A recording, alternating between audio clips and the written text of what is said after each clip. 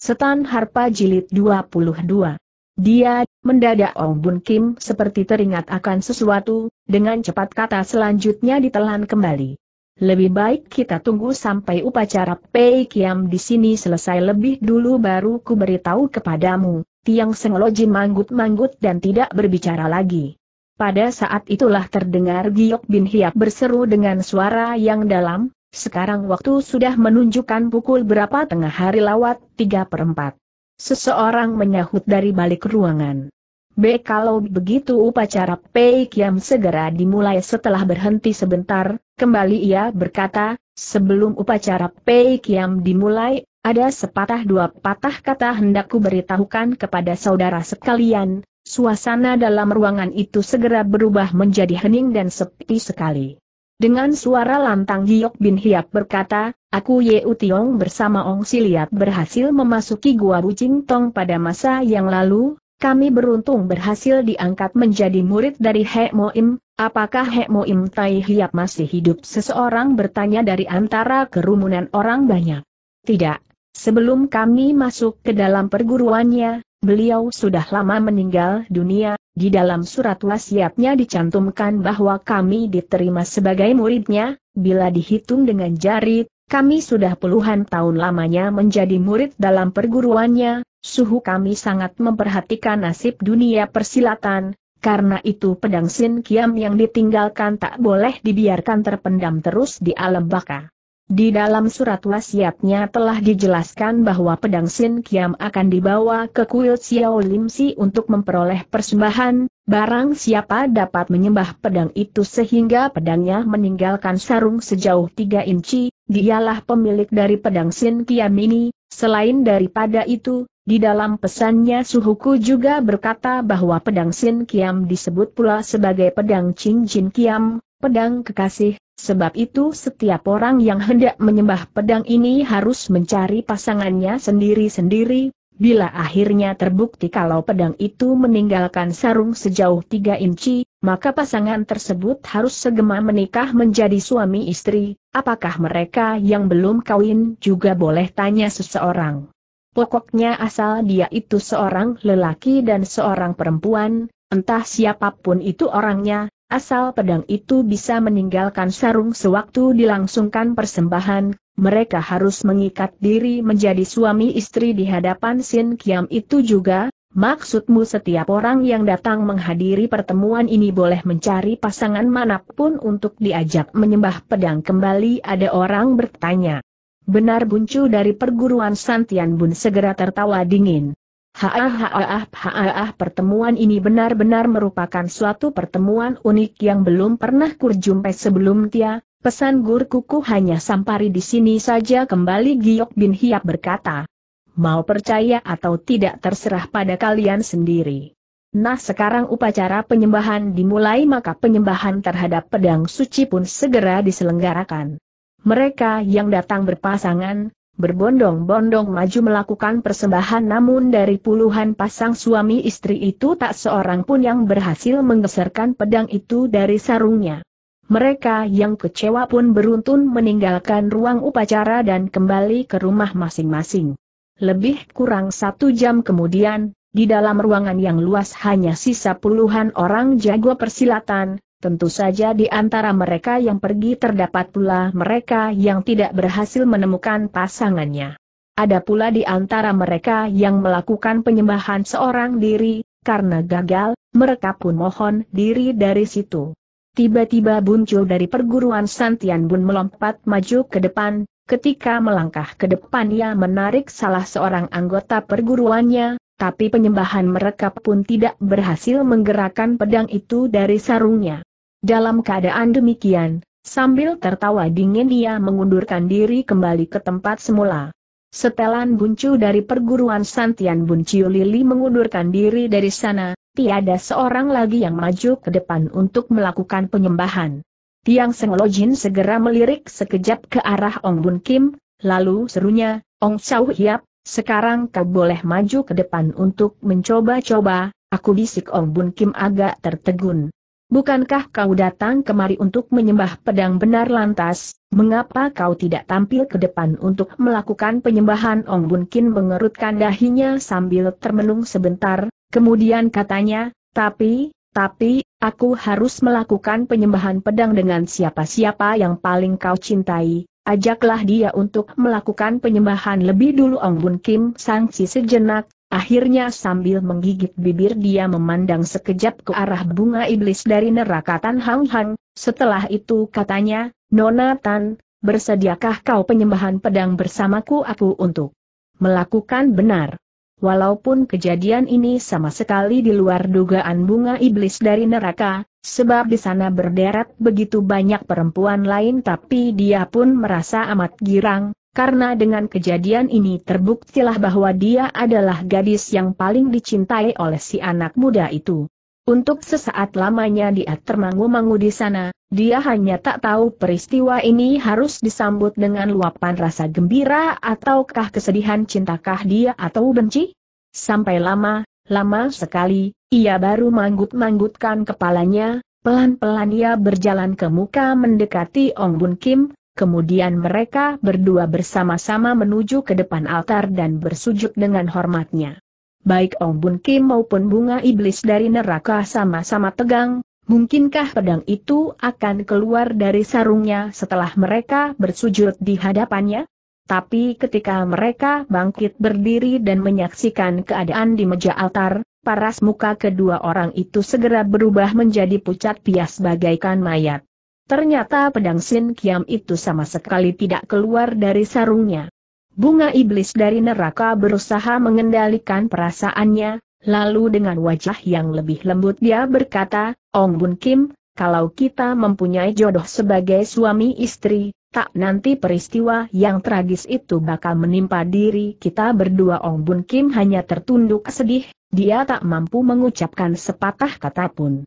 Bunga iblis dari neraka menghela napas panjang, pelan-pelan ia mengundurkan diri dari sana, sementara Ong Bun Kim masih berdiri kaku di tempat. Ong Siang Kong tiba-tiba Lan Shokling maju ke depan. Mari kita menyembah pedang bersama, entah pedang itu akan meninggalkan sarungnya atau tidak, yang pasti kita adalah sepasang suami istri Ong Bun Kim mengangguk, bersama Lan Shokling dia melakukan penyembahan pedang sekali lagi, tapi pedang itu masih tetap tidak meninggalkan sarungnya.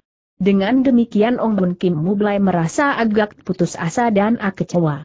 Masakah pedang itu bisa meninggalkan sarungnya? Mungkinkah berita itu cuma isapan jempol belaka? Lan Shokling segera tertawa getir, katanya kemudian. Aaai. Rupanya aku masih belum mempunyai rezeki untuk mendapatkan pedang tersebut selesai berkata, dia mengundurkan diri dari sana. Mendadak Kim Loset tertawa dingin, sambil menerjang maju ke depan serunya, Ong Bun Kim, kau tidak menyangkal bukan kalau kita berdua mempunyai ikatan sebagai suami istri paras muka Ong Bun Kim agak berubah. Aku sama sekali tidak bermaksud untuk membatalkan ikatan perkawinan itu serunya. Lantas, kenapa kau berulang kali menampik untuk kawin dengan aku? Toh kau juga tahu bahwa ayahmu dan ayahku telah merestui perkawinan ini? Kenapa kau tidak menyanggupi terus? Aku pasti akan menikahimu, tapi bukan sekarang. Bab 69 Kim Loset kembali tertawa dingin, katanya, seandainya penyembahan kita menghasilkan pedang itu meninggalkan sarung sejauh 3 inci, Apakah kau segera akan menikah dengan aku jadi kau kau hendak mengajakku untuk melakukan penyembahan bersama benar, kenapa? Tidak boleh tentu saja boleh walaupun Ong Bun Kim berkata demikian namun hatinya sangat keberatan, tapi Kim Loset memang berhak untuk mengajak Ong Bun Kim untuk melakukan penyembahan bersama.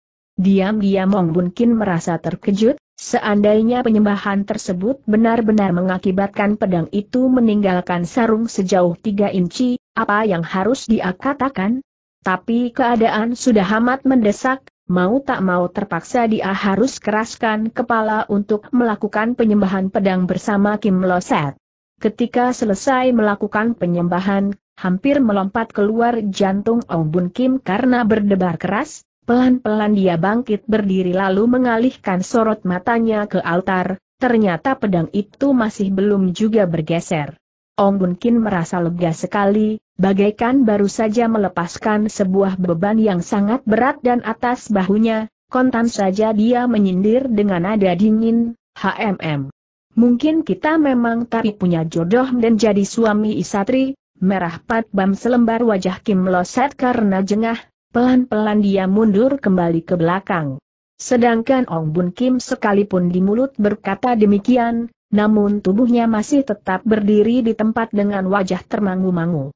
Ia telah melakukan penyembahan pedang bersama seluruh kekasih yang dimilikinya, tapi pedang itu masih tetap tidak bergeser dari sarungnya, dengan demikian harapan Ong Bun Kim untuk memperoleh pedang itu pun mulai goyah. Mungkin ia memang tak berjodoh dengan pedang ini. Kejadian ini memaksa Tiang Senglojin berubah juga wajahnya, dia lantas menuding sekejap ke arah Ye Ching, Kemudian tegurnya, Nona Yeu, kenapa kau tidak maju ke depan untuk mencoba aku benar tapi, tapi kenapa aku dengan dia sama sekali, siapa tahu kalau kau dan Ong Bun Kim mempunyai jodoh sebagai suami istri. Ucapan ini segera membuat Ye Uching merasakan jantungnya berdebar keras, ia tidak menyangkal kalau secara diam-diam mencintai Ong Bun Kim hanya saja perasaan tersebut tak pernah diutarakan keluar. Dia tahu kalau dirinya tak pantas untuk mendampingi si anak muda itu, usianya dengan Ong Bun Kim selisih cukup besar, kalau ditotal semua maka dia lebih tua 8 tahun daripada pemuda itu, dia adalah seorang perempuan yang telah berusia 26 tahun. Beberapa waktu berselang, dia pernah mencoba untuk mengutarakan perasaan cintanya, tapi ia selalu tak punya keberanian untuk mengutarakannya keluar, karena bagaimanapun juga antara dia dengan Ong Bun Kim memang berselisih usia yang amat besar.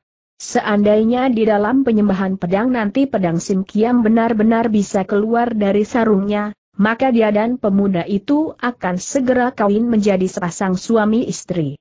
Ketika Tiang Senglojin menyaksikan gadis itu hanya membungkam dalam seribu bahasa dia segera berseru kembali. Hayo maju ke depan akhirnya Ye Uching manggut-manggut, dia beranjak dan pelan-pelan maju ke depan. Ong Bun Kim merasakan jantung dia berdebar kerkas. Karena di antara perempuan-perempuan kenalannya, kini tinggal Ye Uching seorang yang belum melakukan penyembahan bersamanya, mungkinkah antara dia dengan perempuan yang tampak selalu bermuram doja ini mempunyai jodoh sebagai suami istri? Dalam hati kecilnya dia berharap tidak, karena hutang cintanya dengan perempuan itu cukup banyak. Sementara itu, Ye Uching telah berada di samping Ong Bun Kim, mereka saling bertatapan sekejap tanpa mengucapkan sesuatu, sementara di hati kecil mereka sama-sama mempunyai jalan pikiran demikian. Seandainya hasil dari penyembahan mereka menghasilkan bergeraknya pedang suci itu dari sarungnya, kejadian ini harus dianggap sebagai suatu peristiwa yang patut digembirakan atau suatu tragedi yang memedihkan hati. Lama sekali mereka berdua berdiri kaku sambil membungkam, tapi akhirnya mereka menyembah pula dengan hormat. Sekalipun ketegangan yang mencekam perasaan mereka hampir saja membuat jantung kedua orang muda-mudi itu melompat keluar dari rongga dadanya. Tapi ketika mereka bangkit kembali, paras muka kedua orang itu segera berubah hebat. Pedang suci Sin Kia masih tergeletak di atas meja tanpa mengalami perubahan apa pun, Kejadian ini membuat paras muka semua orang agak berubah, sebab secara beruntun Ong Bun Kim sudah menyembah kepada pedang itu dengan empat orang gadis, akan tetapi pedang Sin Kia masih tidak bergeming barang sedikit pun juga. Apakah ia tak berjodoh untuk memperoleh pedang itu?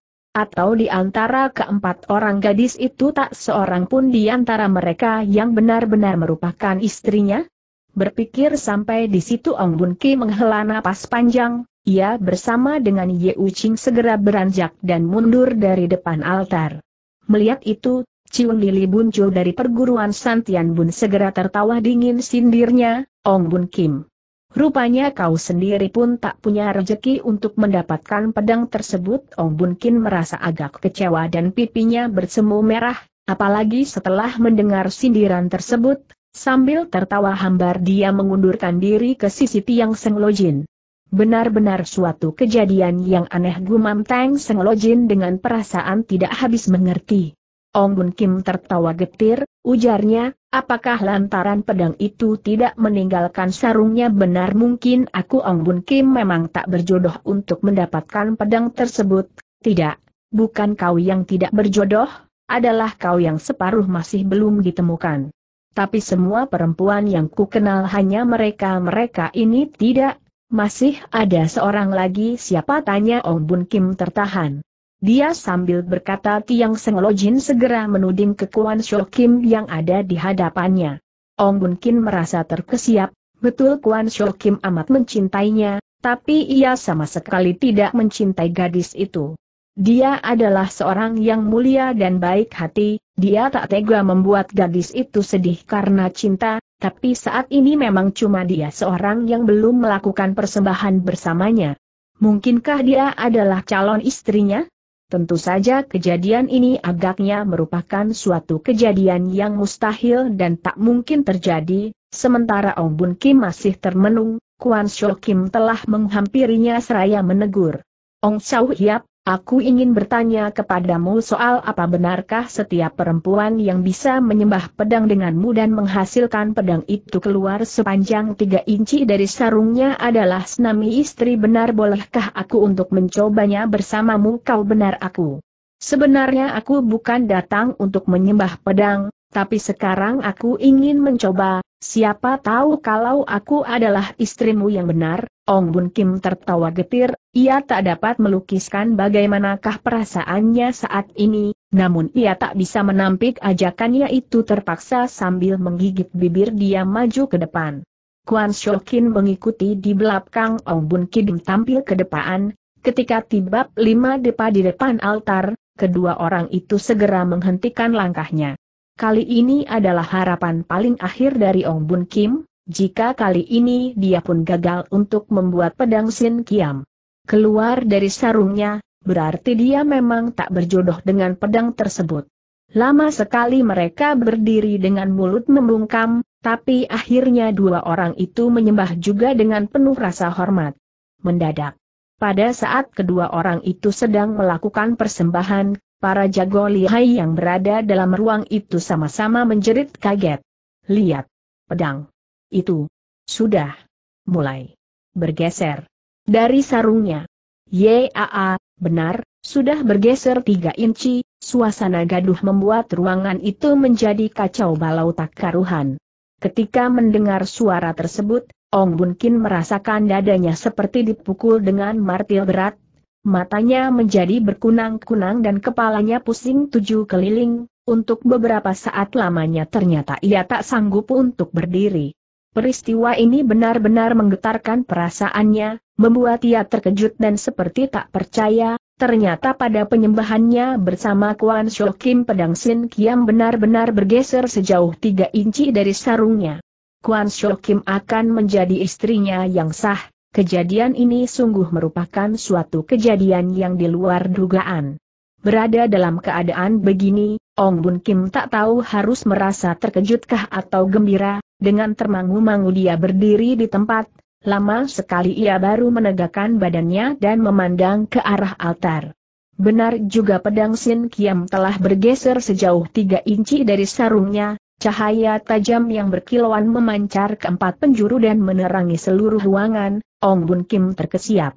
Di tengah jeritan kaget dari puluhan orang jago lihai yang hadir dalam ruangan itu, dia merasa terkejut pula karena tidak menyangka akan benar-benar menjadi pemilik pedang Sin Kiam. Kuan Shokin merasakan kegembiraan yang tak terlukiskan dengan kata-kata, serunya dengan rasa kejut bercampur girang, Ong Chow Hiap, kita benar-benar berhasil menggeserkan pedang itu dari sarungnya, agaknya Ong Bun Kim tak dapat menampilkan sendiuman yang menunjukkan rasa gibrang dan kaget, dia cuma memandang sekejap ke arahnya, Ketika menjumpai paras mukanya yang berseri karena gembira, dia cuma dapat membalasnya dengan sekulum senyuman getir. Di tengah kegaduhan, Giok bin Hiap Yeu Tiong berseru dengan suara yang dalam dan berat, harap kalian semua tetap tenang lambat laun kegaduhan bisa teratasi dan suasana menjadi tenang kembali, berpuluh-puluh pasang mata serentak dialihkan ke wajah Hong Bun Kim serta Giok Bin Hiap.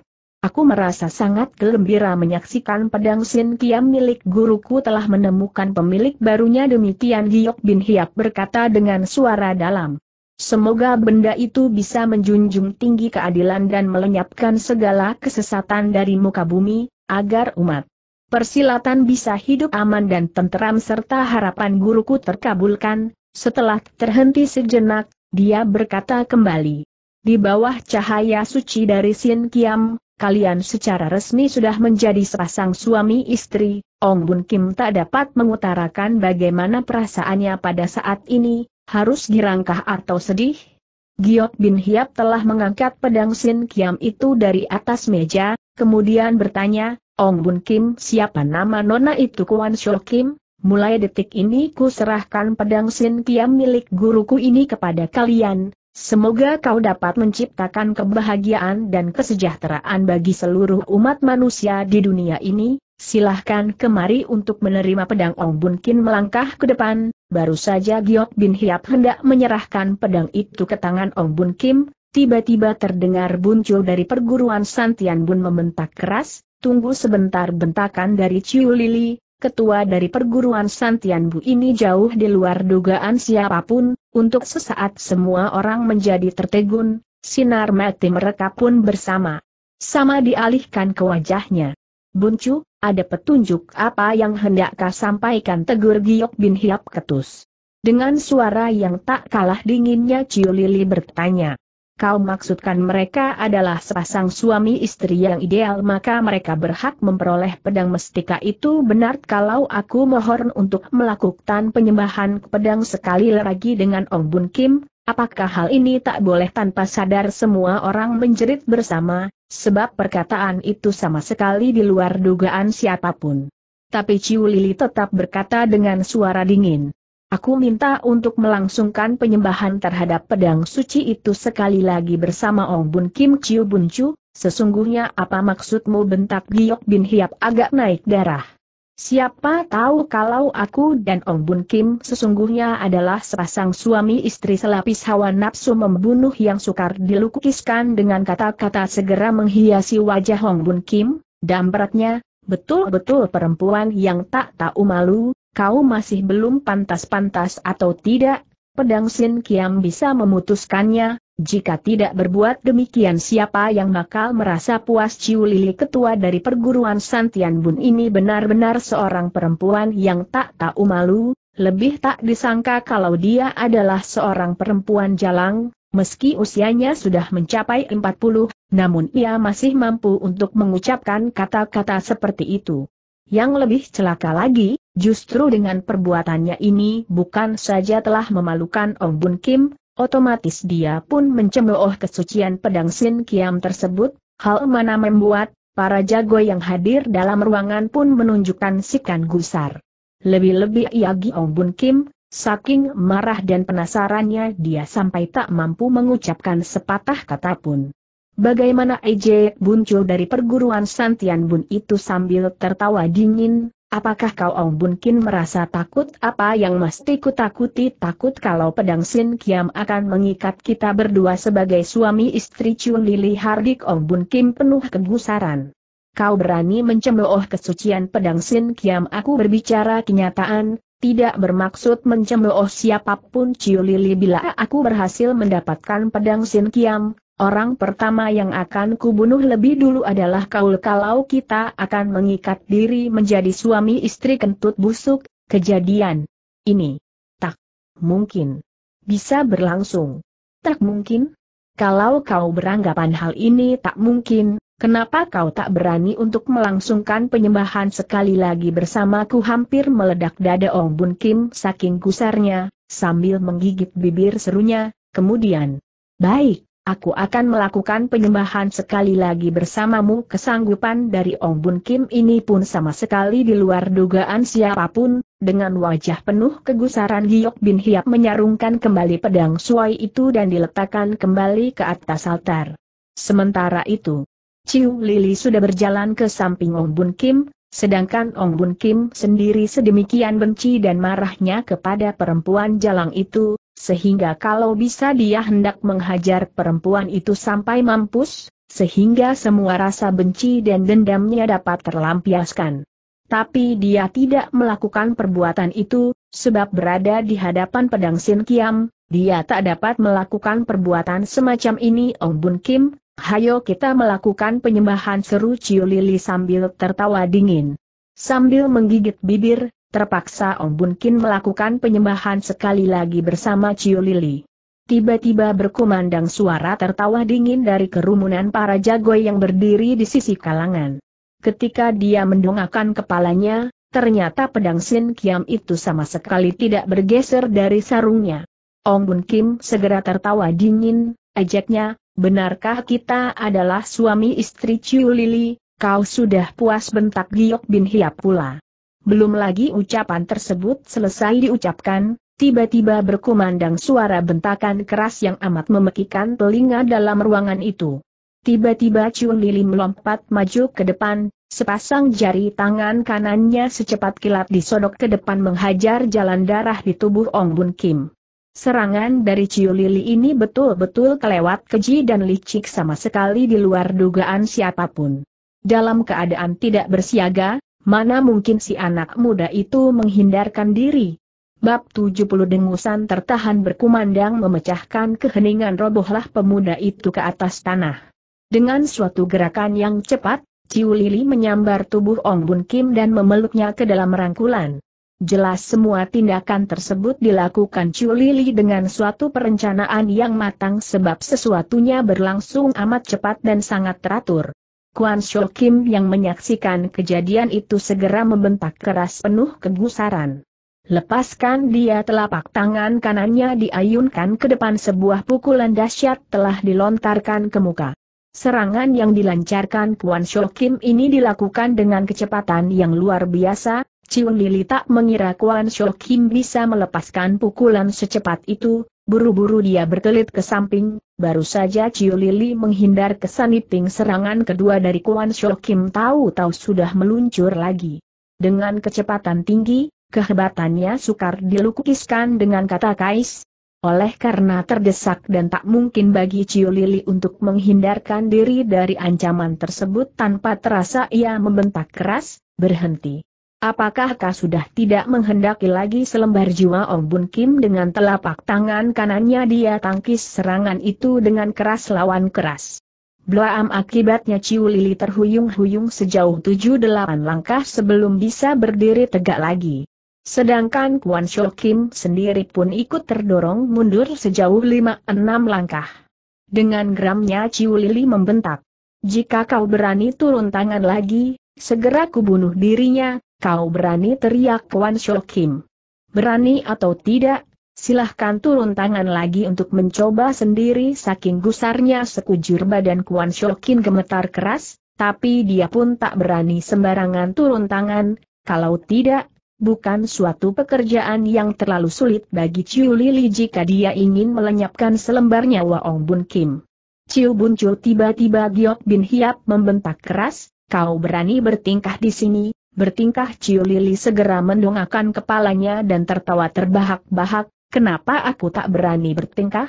Di hadapan pedang suci Sin Kiam, kau juga berani bermain kasar kenapa tidak berani lepaskan dia kalau aku menolak, mau apa kau ejek Ciu Lili sambil tertawa dingin tiada hentinya. Akan kubunuh dirimu sekali lagi Ciu Lili tertawa dingin.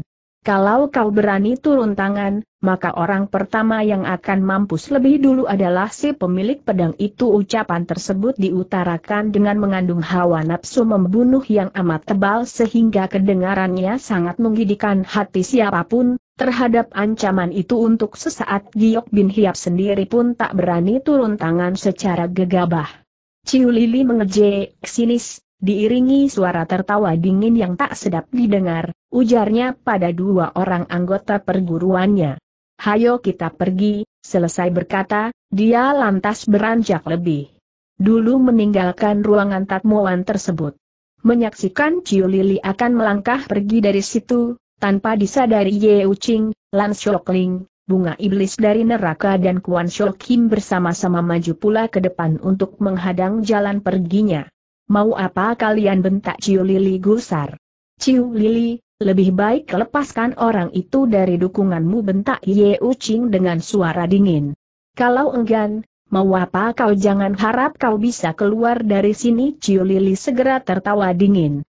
Oh, oh kalau soal itu mah aku tak khawatir Tohong Bun Kim masih berada di tanganku kau benar-benar tak mau melepaskannya bentak Kuan Shou Kim lagi dengan suara keras. Benar, baru saja kata-kata itu melompat keluar dari bibirnya, Kuan Shou Kim telah membentak keras, bayangan putih terasa berkelebat lewat, tahu-tahu ia sudah menerjang ke hadapan Ciu Lili sambil melancarkan sebuah pukulan dahsyat. Serangan ini dilancarkan Puan Shou Kim dengan mengerahkan segenap tenaga dalam yang dimilikinya, bukan saja ganas dan cepat, lagi pula membawa kekuatan penghancur yang luar biasa. Ciun Lili membentak keras sebuah pukulan segera dilepaskan pula untuk membendung datangnya ancaman tersebut. Pada saat Ciu Lili melepaskan pukulan untuk menangkis datangnya cecaran dari Ye Uching, Lan Shokling serta bunga iblis dari neraka bersama-sama maju ke muka sambil melepaskan sebuah pukulan dahsyat.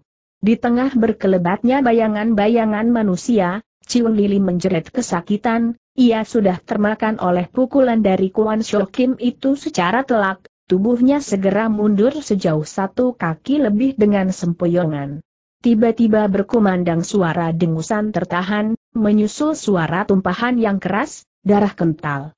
Bermuncatan keluar dari mulut Ong Bun Kim sehingga mengotori seluruh wajah dan pakaiannya. Dengan suara keras menyeramkan, Ciu Lili ketua dari perguruan Santian Bun itu mengancam, kalau kalian berani turun tangan lagi, Jangan salahkan kalau aku benar-benar akan membunuhnya lebih dahulu setelah diancam demikian, tak seorang pun berani turun tangan lagi secara gegabah. Mereka saksikan Ong Bun Kim memejamkan matanya rapat-rapat dengan wajah pucat pias setelah muntah-muntah darah tadi. Hayo menyingkir bentak Ciu Lili. Banyak orang-orang kena digertak, sehingga tanpa sadar mereka bersama-sama mengundurkan dirinya dari situ. Ciu Lili tertawa dingin, sambil mengempit tubuh Ong Bun Kim, dia melangkah keluar dari ruang tatmuan dan melanjutkan perjalanannya menuju keluar kuil. Tapi sesosok bayangan hitam berkelebat lewat tahu-tahu Giok Bin Hiap telah menghadang di hadapannya. Ada apa kau? Kau masih ingin melancarkan serangan bentak Ciu Lili dengan suara keras. Ciu Buncu kau benar-benar tak mau melepaskan dirinya bentak Giok Bin Hiap sambil memegang gagang pedang Sin Kiam. Tidak sulit kalau menginginkan aku untuk lepas tangan, tapi ada dua syarat yang harus dipenuhi kata Ciu Lili sinis. Apa syaratmu? Cepat katakan pertama, berikan Sin Kiam itu beserta kita pelajaran ilmu pedangnya kepadaku. Kedua tanya Giok Bin Hiap. Sebelum kami keluar dari tempat ini, dilarang turun tangan terhadap kami, Giok Bin Biap segera mendongakkan kepalanya dan tertawa seram. Haaah, haaah, haaah kalau aku tak bisa memenuhi keinginanmu itu serunya. Ya apalagi? Jika kau berani turun tangan, maka akan ku salurkan tenaga pukulanku ke tubuh Ong Bun Kim akibatnya dia akan mampus seketika ini juga, di bawah ancaman demikian ini sudah barang tentu Giok Bin Hiap tak berani sembarangan turun tangan. Ku kabulkan permintaanmu itu tiba-tiba Kuan Shou Kim berkata, apa jawaban dari gadis itu amat mencengangkan semua orang, sehingga tanpa cerita mereka menjerit bersama. Ku kabulkan syaratmu ini ulang Kuan Shou Kim dengan suara yang dalam dan berat. Hampir saja Chun Li tidak percaya dengan pendengarannya sendiri untuk sesaat lamanya dia malah berdiri tertegun di tempat. Pedang suci Sin Kiam mana boleh dibiarkan terjatuh ke tangannya protes Giok Bin Hiap segera. Demi keselamatan Ong Bun Kim terpaksa kita harus berbuat demikian, ucap Kuan Shou Kim dingin. Tapi kalau aku tidak serahkan pedang Sin Kiam ini kepadamu, bagaimana caranya kau dapat serahkan benda ini kepada perempuan itu? Paras muka Kuan Shou Kim segera berubah. Lo Chiam karanya, kau tak usah turut campur, pedang Sin Kiam itu bukan milikmu, tapi telah kudapatkan bersama Ong Bun Kim perkataan dari Kuan Shou Kim ini segera disambut dengan perubahan wajah dari Giok Bin Hiap, untuk sesaat lamanya dia malah tak mampu mengucapkan sepatah kata pun. Benar seperti apa yang dikatakan, pedang Sin Kiam itu telah didapatkan oleh Kuan Shou Kim, dia berhak untuk menentukan nasib pedang mestika tersebut. Lo Chiam Pu serahkan pedang Sin Kiam itu kepadaku setu Kuan Shou Kim dingin. Giok Bin Hiap menghela napas panjang. Aaai, D. Kenapa dalam surat wasiat gurumu tidak ditulis kejadian yang bakal berlangsung hari ini? Sudah, sudahlah akan ku serahkan pedang Sin Kiam dan kitab pelajarannya kepadamu Seraya berkata, dia menyerahkan pedang mestika dan kitab pelajaran ilmu pedang itu ke tangan Kuan Shou Kim. Setelah menerima kedua benda mestika tersebut, Kuan Shou Kim segera mengalihkan sorot matanya ke wajah Chun Lili yang memakai kain cadar itu, Kemudian serunya ketus. Ciu Buncu, bila ku serahkan kedua benda ini kepadamu, apakah kau akan lepaskan Ong Bun Kim? Tentu saja jawab Ciu Lili sambil tertawa bangga. Kalau memang demikian, serahkan dulu Ong Bun Kim kepadaku. Serahkan barang lebih dulu, kemudian baru ku serahkan orangnya, kalau kau ingkar janji tanya Kuan Shou Kim ku jamin dengan nama baikku uh. Kalau kau Ciu Buncu masih punya nama baik, tak nanti kau lakukan perbuatan terkutuk seperti ini, lebih baik serahkan dulu Ong Bun Kim kepadaku, percayalah aku tak akan mengingkar janji, belum selesai perkataan dari Kuan Shou Kim itu, mendadak dari luar pintu sudah berkumandang suara seruan yang berat dan dalam. Tolong tanya, siapakah di antara kalian yang bernama Ong Bun Kim? Suara tersebut muncul secara tiba-tiba, Segera hal itu mengejutkan semua jago yang ada di sana sorot mati mereka bersama-sama dialihkan keluar pintu. Tampaklah seorang pemuda tampan yang bertubuh kekar, berusia 26-7 tahun dan mengenakan jubah berwarna abu-abu melangkah masuk ke dalam arna. Kehadiran yang tak terduga dari pemuda itu, sekali lagi membuat semua jago menjadi tertegun. Tolong tanya siapa yang bernama Ong Bun Kim sekali lagi pemuda tampan berbaju abu-abu itu bertanya. Kau sedang mencarinya? Tegur. Giok Bin. Hiap kemudian. Benar, apakah dia berada di sini? Ya dia adalah saudara yang ditawan oleh Ciu Buncu itu. Sorot mata pemuda berbaju abu-abu itu segera dialihkan ke atas ke wajah Ciu Lil yang tertutup oleh kain cadar itu, Kemudian sorot matanya dialihkan ke wajah Ong Bun Kim yang berada di tangannya. Diakah yang bernama Ong Bun Kim? Kembali pemuda itu bertanya. Betul jawab Ciu Lili sinis, ada urusan apa kau datang mencarinya? Pemuda berbaju abu-abu itu mengernyitkan alis matanya, seolah-olah sedang mempertimbangkan sesuatu. Apa yang sedang ia pikirkan? Tentu saja semua jago tak ada yang tahu bahkan mereka pun tahu siapa gerangan pemuda berbaju abu-abu ini. Dan apa maksudnya mencari Ong Bun Kim? Nona terdengar Ciu Lili menegur kembali sebenarnya kau bersedia untuk bertukar syarat atau tidak tentu saja setuju, cuma kau harus menyerahkan dulu Ong Bun Kim kepada kami kalau begitu, transaksi kita ini tak bisa dilangsungkan lagi, bila kau mau serahkan dulu barang itu, Aku pasti akan mengembalikan Ong Bun Kim kepadamu. Saking jengkelnya, Kuan Shou Kim harus menggertak giginya kencang-kencang, setelah sangsi sejenak, akhirnya dia berkata juga, baiklah, akan ku serahkan dulu kedua benda ini, nah sambutlah seraya berkata dia lantas melemparkan pedang Sin Kiam, dan kotak besi berisikan kitab pusaka itu ke tangan Ciu Lili. Sesudah barang mestika itu diterima lawan, Kembali Kuan Shoki membentak, hayo serahkan orang itu kepadaku Ciu Lili tertawa dingin. Tentu saja aku akan serahkan orang ini kepadamu, tapi kalian jangan lupa dengan syaratku yang kedua seraya berkata dia melemparkan tubuh Ong Bun Kim ke arah Kuan Shou Kim. Berbareng dengan melemparkan tubuh Ong Bun Kim itu, secepat kilat Ciu Lili melompat keluar dari ruangan itu. Tapi sebelum tubuh Ciu Lili melangkah keluar dari pintu, berkumandang suara tertawa dingin yang memekikan telinga, kemudian muncullah beberapa sosok bayangan manusia yang segera membendung sekeliling pintu gerbang tersebut.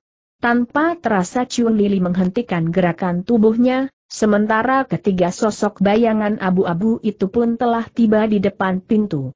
Tampaklah orang yang berada di paling depan adalah seorang kakek kurus kering berkumis panjang yang duduk di atas sebuah kursi, orang itu tak lain adalah Ye Uleng Lojin dari perguruan tanpa sukma. Di belakangnya berdiri dua orang jago yakni Dewi Mawar Merah serta wakil ketua perguruannya. Akhirnya Ye Uleng Lojin munculkan diri juga di tempat itu. Sambil tertawa panjang dengan nada yang dingin menyeramkan, dia segera berseru. Oh, oh, apakah pertemuan Pei Kiam telah diselenggarakan? Jadi pun Buncu telah datang terlambat? Tiang Senglojin tertawa terbahak-bahak, selanya. Siok Buncu, masih kenal dengan Io Ye Uleng Lojin mengalihkan sorot matanya ke wajah Tiang Senglojin, kemudian kembali ia tertawa seram. Haa sungguh tidak kusangka kalau kau pun berhasrat untuk ikut memperebutkan pedang sakti Sin Kiam tersebut, katanya. Betul, tapi sayang kedatangan Siok Buncu agak terlambat. Mendengar itu, paras muka Ye Uleng Lojin segera berubah hebat. Maksudmu, pedang Sin Kiam tersebut telah didapatkan orang lain teriaknya. Benar. Didapatkan siapa Santian Buncu apa? Ye Uleng Lojin dan Kuan Shou Kim hampir bersamaan waktunya menjerit kaget.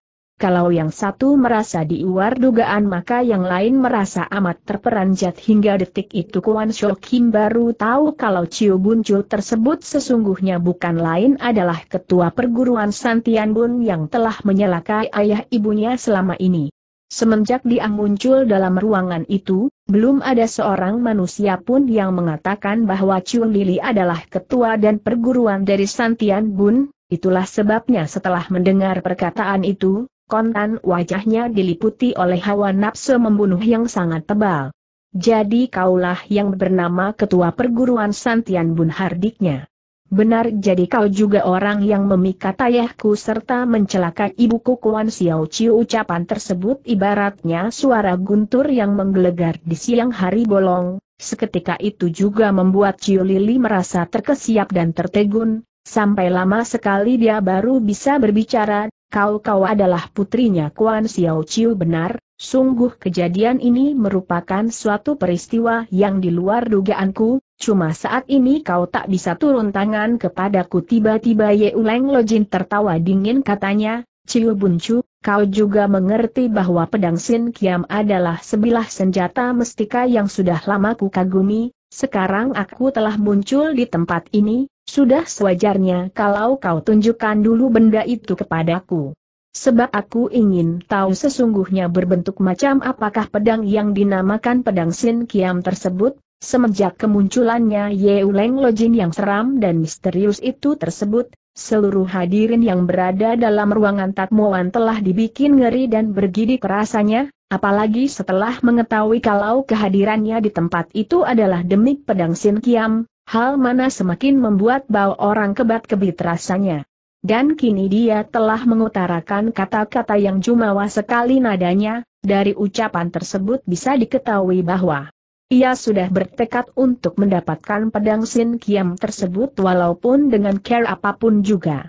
Ciu Lili balas tertawa dingin lalu menegur, jadi kaulah yang bernama Yeuleng Ojin ketua dari perguruan Yeuleng Bun, benar, aku pikir Buncu pasti bersedia bukan untuk meminjamkan pedang itu kepadanya eh eh eh seandainya aku keberatan untuk meminjamkan kepadamu jengek Ciu Lili sambil tertawa dingin.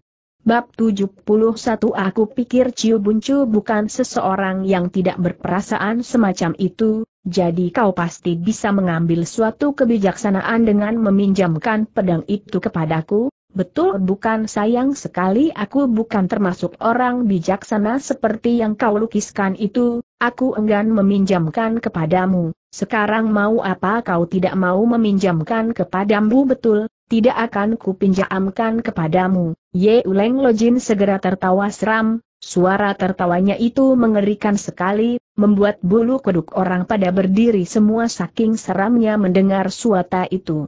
Rupanya ketua dari perguruan Santian Bun, Ciun Lili juga menyadari bahwa ia telah menghadapi seorang musuh yang amat tangguh, dalam waktu singkat hawa murninya segera dihimpun menjadi satu di dalam tubuh dan bersiap sedia untuk melangsungkan suatu pertarungan mati-matian melawan Ye Uleng Lojin.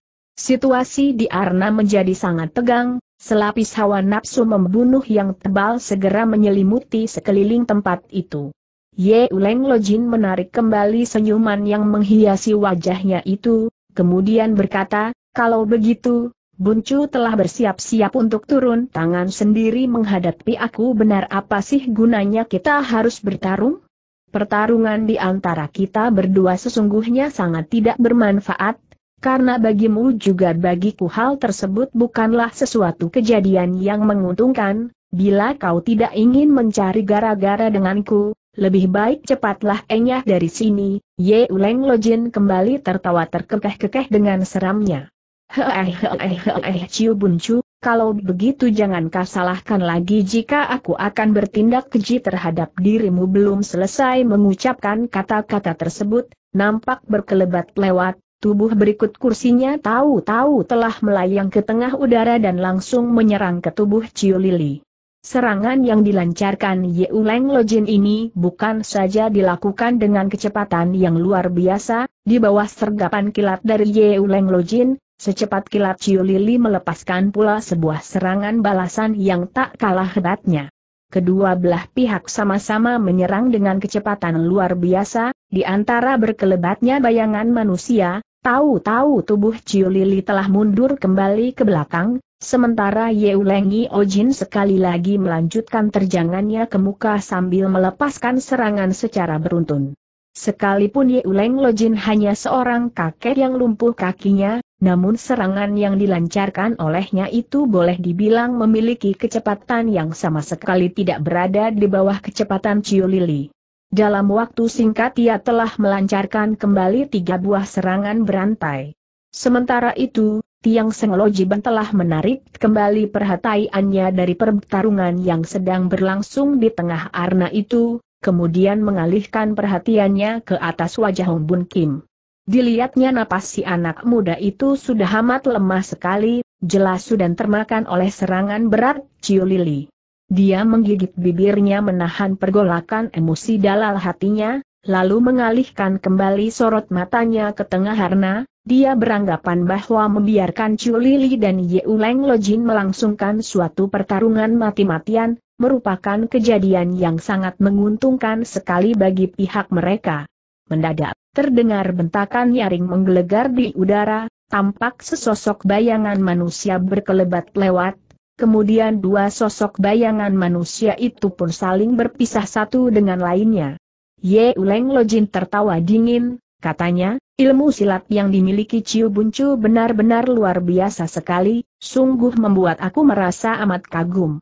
Ilmu silat yang dimiliki So Buncu juga lihai sekali, mungkin tiada tandingannya lagi dalam dunia ini, sambung Ciu Lili dengan nada setengah mengejek. Ciu Buncu, benarkah kau hendak mengajakku untuk melangsungkan suatu pertarungan yang akan menentukan mati hidup kita berdua benar, kecuali kalau pada saat ini juga kau bersedia pergi meninggalkan tempat ini Ye Uleng Lojin segera memperdengarkan arah tertawanya yang geram sekali. Eh, Buncu, jelas hal ini tak mungkin bisa kulakukan, jikalau memang tak bisa kau lakukan, lebih baik kita teruskan saja dengan suatu pertarungan, belum habis perkataan itu diucapkan, tiba-tiba tubuh Ye Uleng Lojin telah melejit ke tengah udara dan menerjang ke hadapan Ciu Lili dengan kecepatan luar biasa, segulung desingan angin dingin yang menggidikan hati langsung berhembus lewat dan menerpa ke atas dadanya. Ciu Lili cukup menyadari akan kelihayan musuhnya, sekarang dia pun sudah berhasrat untuk melakukan pertarungan mati-matian untuk mempertahankan pedang mestikanya itu. Maka begitu Ye Uleng Lojin menerjang datang sambil melancarkan serangan kilat, cepat-cepat tubuhnya berputar bagaikan gasingan, lalu secara beruntun melepaskan juga dua buah serangan berantai. Serangan demi serangan yang dilakukan kedua belah pihak sama-sama cepatnya dan sama-sama hebatnya. Sungguh merupakan suatu tontonan gratis yang menarik hati. Agaknya di dalam hati masing-masing sudah mempunyai perhitungan sendiri-sendiri, jika pertarungan itu tidak segera diselesaikan secara cepat, bukan saja Sin Kiam tersebut tak akan berhasil mereka dapatkan, bisa jadi akan berakibat terlukanya kedua belah pihak.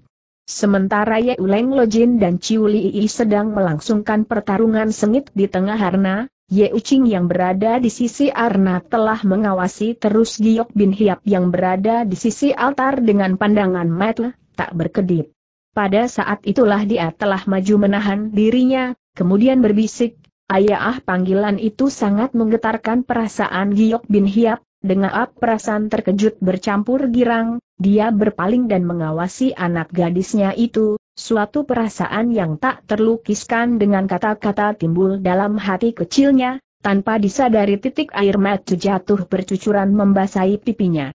Baik-baiklah ibumu tanyanya lirih. Dia.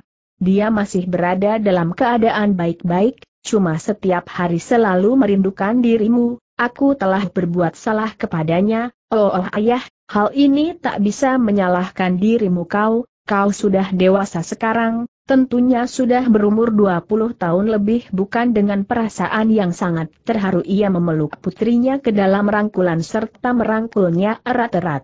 Ye Ucing tak dapat menahan rasa sedihnya lagi, ia menangis terseduh-seduh dalam pelukan ayahnya. Sementara itu, di pihak lain Tiang Senglojin telah menghampiri si pemuda berbaju abu-abu itu, setelah memberi hormat dia pun menyapa, selamat berjumpa engkoh cilik, selamat berjumpa Lo Ciampu buru-buru pemuda berbaju abu-abu itu membalas hormat.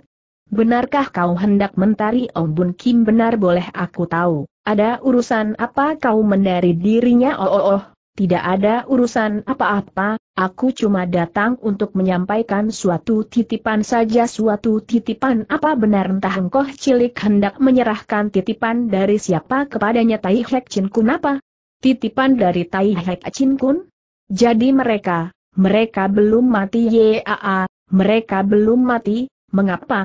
Sekarang mereka berada di mana menurut penuturan mereka berdua, katanya mereka berdua bersama Ong Bun Kim telah mendatangi perguruan Santian Bun, tapi kemudian mereka bersama Oak Bua Kim dihantam oleh ketua dari perguruan Santian Bun itu sehingga terjatuh ke dalam jurang yang berpuluh-puluh ribu kaki dalamnya itu.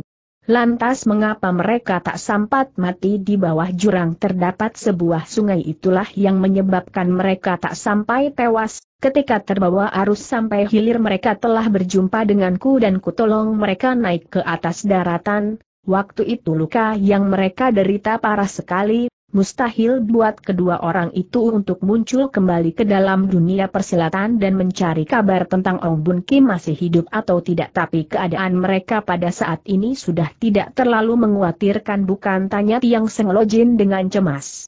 Oh, oh, oh tidak mengapa.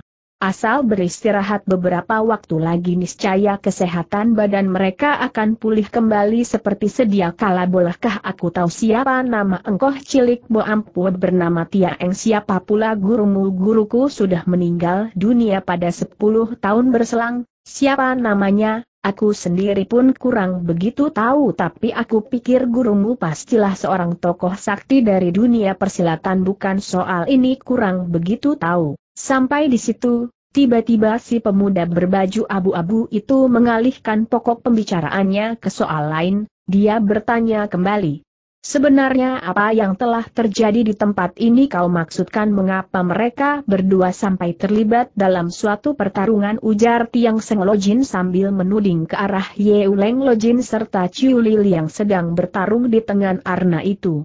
Benar Ye Aa, karbena apa lagi? Tentu saja lantaran ingin memperebutkan pedang Sin Kiam kau maksudkan senjata tajam yang diwariskan Hek Moim seorang tokoh sakti dari dunia persilatan itu benar mengenai masalah pedang Sin Kiam tersebut, aku pun pernah mendengarnya dari guruku, tapi sesungguhnya apa yang mengakibatkan terjadinya peristiwa semacam ini terpaksa Tiang Senglojin harus menuturkan kembali semua peristiwa yang telah terjadi dalam ruangan itu. Ketika selesai mendengar penuturan tersebut, paras muka Tia Eng segera berubah hebat, katanya kemudian. Kalau begitu pedang Sin Kiam tersebut sesungguhnya telah menjadi milik Ong Bun Kim betul. Jadi ketua dari perguruan Santian Bun ini secara licik telah turun tangan keji untuk menyergap Ong Bun Kim betul kurang ajar manusia semacam ini pantas dibunuh ucapan tersebut diutarakan dengan nada penuh hawa nafsu membunuh, membuat siapa pun yang mendengar ikut bergidik rasanya. Dalam pada itu Kuan Shou Kim telah membaringkan Ong Bun Kim di atas tanah, sepasang tangannya menguruti seluruh urat nadi dan jalan darah penting di tubuh pemuda itu dengan maksud untuk menyadarkan kembali dirinya dari keadaan tak sadar. Mendadak. Suatu bentakan keras yang menggelegar berkumandang memecahkan keheningan, di tengah bentakan tersebut secepat sambaran kilat Ye Leng Lojin melepaskan dua buah pukulan dahsyat ke depan. Waktu itu pertarungan sudah berlangsung hampir mencapai puluhan gebrakan banyaknya, akan tetapi menang kalah masih sukar ditentukan, tampaknya Ye Leng Lojin sudah berhasrat untuk cepat menyelesaikan pertarungan ini dengan mengandalkan kepandaian melepaskan racunnya. Setelah melancarkan dua buah pukulan itu, dia lantas mundur beberapa langkah kemudian maju kembali. Pada saat tubuhnya mundur itulah racun jahat yang dibawanya telah siap-siap dilepaskan. Pada saat menjelang Yeuleng Lobjin melepaskan racun keji tersebut suatu bentakan nyaring kembali menggelegar di udara. Tahan bentakan itu sangat keras bagaikan guntur yang membelah bumi di siang hari bolong membuat semua orang merasakan telinganya mendengus keras sekali menyusul kemudian sesosok bayangan manusia berwarna abu-abu meluncur masuk ke dalam arna dan berdiri tepat di hadapan Chu Lili ketua dari perguruan Santian Bun itu. Orang yang menampilkan dirinya itu tak lain adalah si anak muda berbaju abu-abu itu, Tia Eng adanya. Dengan sorot metu yang memancarkan sinar tajam, dia mengawasi wajah Chun Lil yang bercadar itu tanpa berkedip, kemudian bentaknya dengan suara dingin. Kaukah yang bernama Chu Lili ketua dari perguruan Santian Bua itu Chu Lili memandang pemuda itu sekejap kemudian menganggukkan kepalanya. Benar serahkan pedang itu kepadaku, menyerahkan pedang itu kepadamu Ciu Lili segera tertawa dingin. Tiada hentinya apa yang kau andalkan untuk berbuat demikian. Air muka pemuda baju abu-abu Tiaeng berubah sedikit kemudian dengan menyerigai bengis bentaknya lagi, sebetulnya kau bersedia menyerahkannya kepadaku atau tidak? Tidak jadikah sudah pingin mampus. Dengan gusarnya Tiaeng membentak keras, Kemudian secepat sambaran kilat dia menerjang ke muka dan langsung menubruk Ciu Lili sambil melepaskan sebuah pukulan dahsyat. Serangan yang dilakukan oleh Tlaeng ini boleh dibilang cepat seperti sambaran kilat dan dahsyat, seperti muntahnya sebuah bukit karang, sungguh mengerikan sekali. Ciu Lili tak berani bertindak gegabah, buru-buru dia mengebaskan tangan kanannya ke muka untuk membendung datangnya ancaman itu. Tangkisan yang dilakukan oleh Ciu Lili ini tak bisa dikatakan tidak cepat, akan tetapi justru gerakan dari Tia Eng jauh lebih cepat dari gerakannya itu, di antara berkelebatnya bayangan manusia, tahu-tahu serangan kedua telah dilancarkan kembali. Sekarang Ciu Lili baru terperanjat, dia tidak menyangka kalau musuhnya begitu lihai, buru-buru tubuhnya melejit ke samping untuk menghindarkan diri, Maksudnya dia hendak meloloskan diri dari serangan maut yang diincar pemuda itu. Sayang sekali, secepat-cepatnya dia bergerak untuk menghindar, toh tetap masih terlambat satu tindak. Angin pukulan Tiaeng yang dahsyat bagaikan gulungan ombak dahsyat di tengah samudra itu sudah meluncur datang secepat sambaran kilat, terpaksa dia harus menggigit bibirnya untuk menyambut datangnya serangan itu dengan keras lawan keras. Blaam di tengah ledakan keras yang memekikan telinga, kuda-kuda Ciu Lili tergempur, tubuhnya tak dapat berdiri tegak lagi dan secara beruntun mundur sejauh tujuh delapan langkah dengan sempoyongan, sebaliknya Tia Eng sama sekali tidak bergeming dari tempatnya semula. Sambutlah sekali lagi seranganku ini bentak Tia Eng keras-keras. Di tengah bentakan itu, Sekali lagi tubuhnya meluncur ke depan dan melancarkan dua buah serangan berantai. Ilmu silat yang dimiliki Tia Eng benar-benar menggidikkan hati, hanya dalam waktu singkat dia telah melepaskan lagi dua buah serangan yang maha dahsyat. Mendadak. Pada saat Tia Eng melancarkan serangan tiba-tiba ke arah Ciu Lili. Ye Uleng Lojin juga menerjang masuk ke dalam arna, Kemudian mereka berdua bersama-sama menerjang ke muka sambil melepaskan sebuah pukulan dahsyat. Serangan itu dilancarkan sekaligus tertuju ke tubuh Ciu Lili maupun Tia Eng, kecepatannya luar biasa sekali, tampak bayangan manusia berkelebat lewat, tahu-tahu ia sudah mundur kembali ke belakang. Ketika Chu Lili dan Tia Eng baru selesai saling beradu pukulan, terdengar Ye Uleng Lojin berseru. Harap kalian berdua menghentikan pertarungan mendengar bentakan itu tanpa terasa kedua orang itu sama-sama menarik kembali serangannya dan berpaling. Tampak Ye Uleng Lojin sedang memandang ke arah mereka dengan sekulum senyuman yang licik menghiasi ujung bibirnya. Mau apa kau tegur Ciu Lili sambil tertawa dingin. Dengan bangganya Ye Uleng Lojin tertawa terbahak-bahak. Ha-ah, ha-ah, ha-ah, kalian berdua tak usah melanjutkan pertarungan lagi, kamu semua telah terkena racun jahatku. Apa jerit Ciu Ili dengan perasaan terperanjat, paras mukanya sampai berubah hebat. Ye Uleng Lojin kembali tertawa seram, ujarnya kembali, kalian berdua sudah terkena racun keji lihat Im Si Tok, racun peretas hati, cuma dengan mengandalkan tenaga dalam yang kalian berdua miliki, asal tidak melakukan pertarungan lagi, untuk mendesak keluar sari racun tersebut dari dalam tubuh bukanlah suatu pekerjaan yang terlalu menyulitkan, kalau tidak kalian pasti akan mampus karena bekerjanya racun itu. Ucapan tersebut cukup menggidikan hati semua orang yang mendengarnya, sekarang semakin terbukti akan kekejaman Yeuleng Lojin, hakikatnya apa yang diucapkan dan apa yang dilakukan cukup menggidikan hati setiap orang. Bila Ciu Buncu kurang percaya, mengapa tidak mencoba untuk mengatur pernapasanmu buru-buru Ciu Lili mengatur pernapasannya, benar juga ia segera merasakan isi perutnya amat sakit bagaikan ditusuk-tusuk dengan pisau belati, dalam keadaan demikian buru-buru dia membuyarkan seluruh hawa murninya dan menggigit bibir menahan hawa amarahnya yang memuncak. Ye Uleng Lojin tertawa bangga kembali ejeknya. Ciu Buncu, tentunya kau sudah percaya bukan sekarang So Buncu, Kai I memang tidak malu kalau disebut sebagai seorang manusia berhati hitam yang keji mendengar itu, Ye Uleng Lojin tertawa terbahak-bahak. Hahaha, nada ucapan Ciu Buncu sama sekali telah berubah, Ye Aa, kita semua sama-sama demikian, Setali tiga uang bukan racun jahat tanpa wujudmu betul-betul sangat lihai, aha, cuma suatu permainan kucing kaki tiga belaka, Ciu Buncu aku pikir ada baiknya jika kedua macam benda mestika itu kau serahkan kepadaku, Ciu Lili adalah seorang jagoan yang berpesgayaman, sekalipun dia sangat berharap bisa mendapatkan benda mestika tersebut, tapi bagaimanapun juga nyawa adalah jauh lebih penting dari segala-galanya, apalagi sebagai Seorang yang pintar dia enggan untuk menerima kerugian yang berada di depan mata.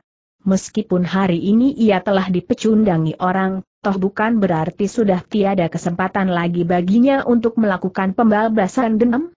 Maka setelah termenung dan berpikir sejenak, dia berkata, baiklah, akan kuserahkan kedua macam benda mestika ini kepadamu. Nah terimalah ini sambil berkata dia lantas melemparkan pedang Sin Kiam dan kotak besi berisi kitab pusaka ilmu pedang itu ke arah Ye Uleng Lojin, mendadak bayangan manusia berkelebat lewat, pada saat Ciu Lili sedang melemparkan kedua macam mestika itu ke arah Ye Uleng Lojin inilah tahu-tahu Tia Eng sudah meluncur ke depan dan menyambar kedua buah benda mestika tersebut.